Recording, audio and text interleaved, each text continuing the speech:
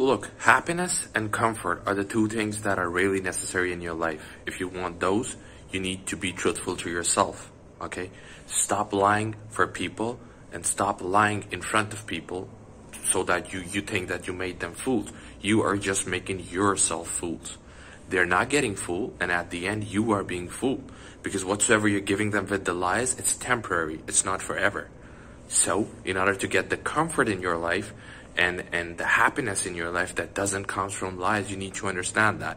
It comes for timely manners, and that's what everybody is doing. Short term. Don't play for short term. You have a long life.